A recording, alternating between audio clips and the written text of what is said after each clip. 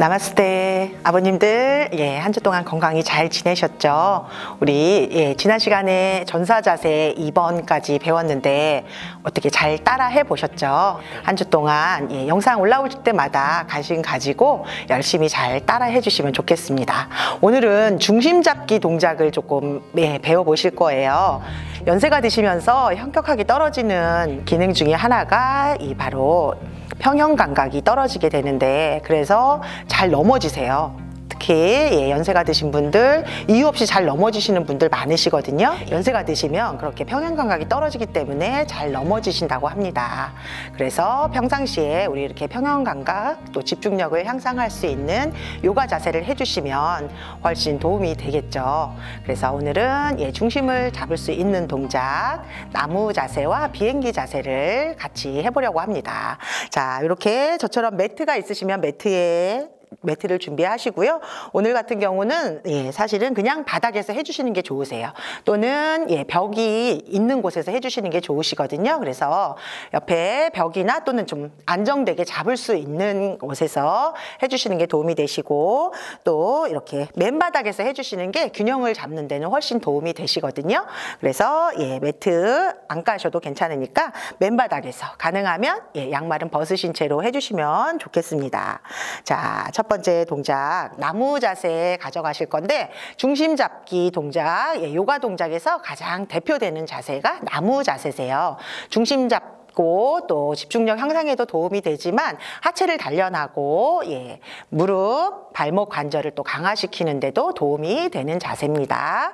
자, 두 다리를 똑같이 모으셔서 이렇게 서시는데 중심 잡기 동작하면 대부분이 한 다리로 서시는 거세요. 자, 우리 외발석이라고 해서 이렇게 한 발 한발 들어서 예, 서는 자세인데 사실은 이렇게 외발서기가 예, 수월하게 되시는 분도 있으시지만 연세가 드실수록 이 자세가 힘든 자세 자세가 되세요. 막 흔들리시고 넘어지시고 하시는데 정상인은 보통 40초 정도를 예, 그냥 무난하게 서 계실 수 있는데 연세가 드시면 60세 이상 어르신들은 15초만 서 계셔도 예, 정상이라고 보거든요. 그만큼 예, 어르신들한테 예, 많이 부족한 게 이 평형 감각입니다. 그래서 예, 나무 자세 평형 감각을 키우기 위해서 같이 해보겠습니다. 자 외발석이 마찬가지로 가져가시는데 한 발로 서실 거예요. 자, 이제 왼발을 바닥에 두실 거고 오른 무릎을 세우셔서 오른 다리를 들어 보실 건데 자, 이렇게 들기조차 사실은 힘드신 분들 많으세요. 그냥 한 발로 버티는 것조차 힘들어 하시는 분 많으시니까 자 오른발 끝은 그냥 바닥에 둘게요. 바닥에 두시고요. 뒤꿈치를 이렇게 복숭아뼈에 올려주시면 됩니다. 자 그리고 여기서 중요한 거는 골반을 조금 열어주셔야 되세요. 그러려면 오른 무릎을 안으로 닫지 마시고 바깥쪽으로 조금 열어내세요. 그래서 골반은 정면에 있으시고 무릎은 예 열려 있습니다. 그 상태로 상체는 세우실 거고요. 중심 잡기 동작에서 팔은 예, 옆으로 이렇게 수평하게 뻗으시는 게 중심 잡기 제일 수월하시고 제가 아까 벽 옆에서 하라고 말씀드렸 하시라고 말씀드렸죠. 예. 이게 힘드시면 벽에 손을 살짝 대고 하시거나 무언가를 좀 잡고 하셔도 괜찮겠습니다. 자, 팔을 쭉 뻗으셔도 되시고요. 또는 괜찮다면 우리 나무 자세니까 손을 팔을 위로 쭉 뻗어서 나무 가지 위로 쭉 뻗어 나듯이 또는 합장을 하셔서 위로 쭉 끌어올리셔도 괜찮으세요. 자, 우리 중심 잡기 동작에서 제일 중요한 거 또 시선입니다. 시선. 한 곳에 움직이지 않는 한 점을 보셔야 되세요. 움직이는 곳 바라보시면 흔들려서 쓰러지기 쉬우시거든요. 움직이지 않는 정면의 한 곳을 응시하셔서 그곳을 뚫어져라 집중력 있게 바라보세요. 그러면서 예, 유지를 해주시고 자 지탱하고 있는 우리 왼 다리 힘을 꽉 주셔야 되세요. 발바닥 바닥을 누르시고요. 허벅지도 안쪽으로 계속 밀어내셔서 골반이 밀리지 않도록 힘을 꽉 주셔서 이렇게 유지하셔도 충분히 좋은 나무 자세이고요. 자 우리 조금 더 완성된 완성된 나무 자세는 다리를 완전히 바닥에서 떼보실 거예요. 자, 하실 수 있는 분만 또는 벽을 잡고 하셔도 괜찮습니다. 자, 뒤꿈치를 떼셔서 자, 네. 왼쪽 허벅지 안쪽에 이렇게 붙여주실 거예요. 자, 무릎은 마찬가지로 뒷벽을 향해 열어내실 거고 자, 왼다리에 힘 많이 들어가시는데 우리 왼쪽 허벅지 안쪽으로 밀실 거고 오른 발바닥은 허벅지를 밀어주세요. 그래서 우리 발바닥과 허벅지 가 똑같은 힘을 작용합니다. 허벅지는 안으로 발바닥은 허벅지를 쭉 밀어내셔서 중심을 더 잘 잡을 수 있도록 그리고 오른 무릎은 열어내신 채로 골반은 정면에 두시고 자 팔 선택하세요. 옆으로 또 위로 만세 합장하셔도 되시고 자 시선 중요하죠. 움직이지 않는 한 곳에 점을 콕 찍어서 유지를 조금 하셔도 되시고요. 힘드시면 금방 돌아오셔도 되세요.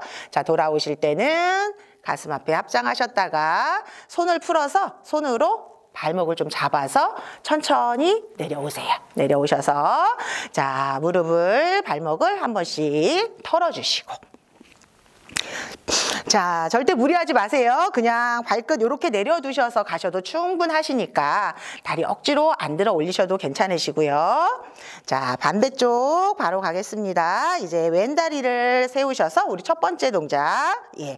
이렇게 발가락 바닥에 두시고 뒤꿈치를 내 오른쪽 복숭아뼈에 이렇게 붙여 두셔도 되세요.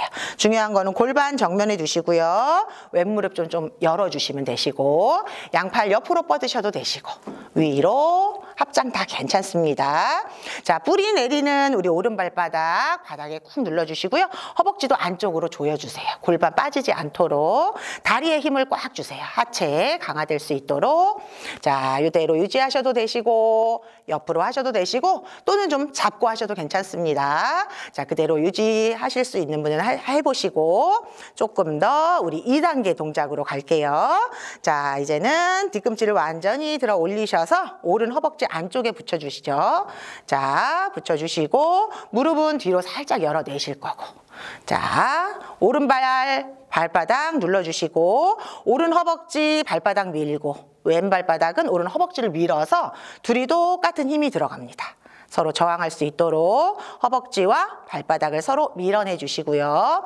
자, 양팔 옆으로도 괜찮고 우리 완성된 나무 자세에 합장하셔서 위로 쭉. 자, 나무 뿌리는 바닥으로 가지는 위로 길게 뻗어 올라가는 모양으로 자, 시선 한 곳에 점을 콕 찍어서 유지 좀 해보시고 힘드신 분은 언제든지 돌아오세요. 자, 그대로 합장 한 손 가슴 앞에 다시 손을 풀어서 발목 잡아서 내려오셔서 돌아옵니다. 자, 발목 한 번씩 탈탈탈 털어주시고 자, 나무 자세, 브룩샤 아사나라고 하는 자세 배워봤고요. 두 번째는 데카사나라고 하는 비행기 자세, 비행기 자세 같이 해보도록 하겠습니다.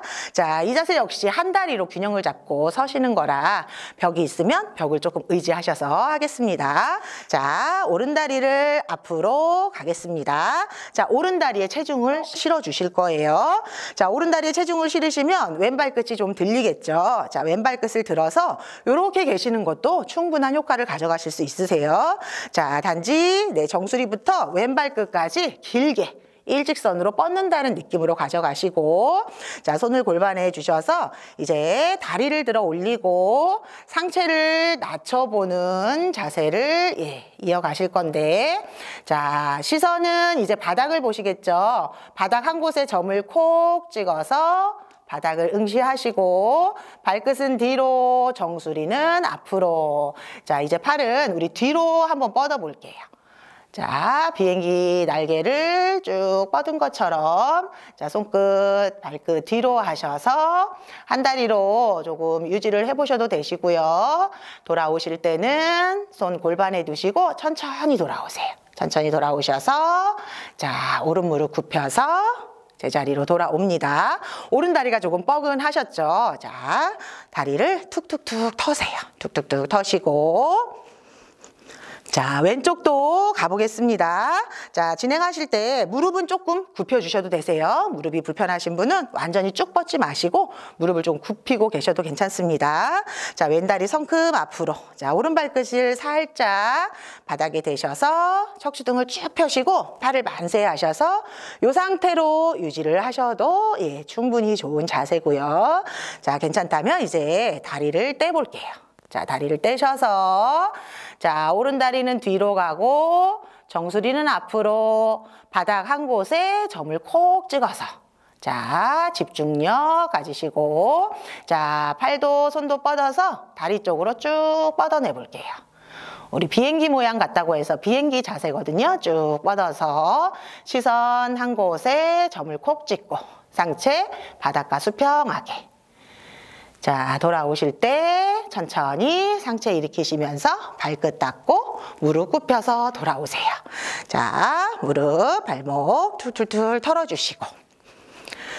자, 중심 잡기 동작에서 특히 중요한 건 시선입니다. 움직이지 않는 한 점을 예, 집중하셔야 되시고요. 저는 이렇게 자꾸 얘기를 하면서 하다 보니까 자꾸 예, 흔들리게 되거든요. 예, 우리 아버님들께서는 예, 움직이지 않는 한 점, 점을 콕 찍어서 집중하셔서 동작 이어가시고요. 나무 자세와 데카사나 우리 조금 전에 했던 비행기 자세 반복하셔서 우리 하체 근력도 조금 단련하시고요.